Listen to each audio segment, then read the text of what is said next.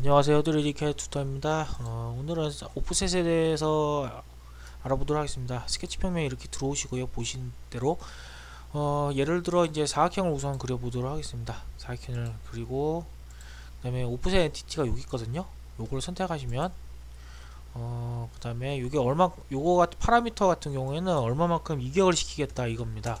오프셋이 이격이란 뜻이거든요. 이격을 얼마만큼 하겠냐? 10mm 다 하겠다 그리고 요게 설명드리면 음, 네, 그냥 하면 이렇게 바깥쪽으로 10mm만큼 요 기준으로 이 변의 기준으로 정확하게 10mm 이격돼서 이렇게 나와요.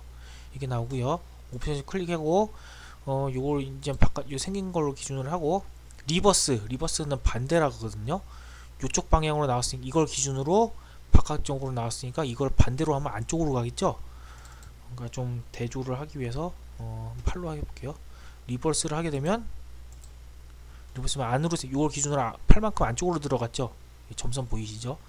그리고 reverse를 해제해주고 이거 클릭하면 이제 안쪽으로만 생, 그린 겁니다. 그리고 어, 해제하면 바깥쪽으로만 나오겠죠? 순방향 순방향과 역방향입니다 한마디로. 네, bi-direction bi-direction 양방향이에요. 요 기준으로 요 기준으로 플러스 8 마이너스 8 이렇게 그리는 겁니다 어, 조금 드라마틱하게 보여지기 위해서 구를 한번 해볼게요. 구를 하면 좀 바뀌었죠? 약간 바깥쪽으로 구, 안쪽으로 구. 그래서 오케이 하면 이렇게 되고. 네. 사각형이 하나, 둘, 셋, 넷, 네 개 생겼네요. 이렇게 해서 가지고요.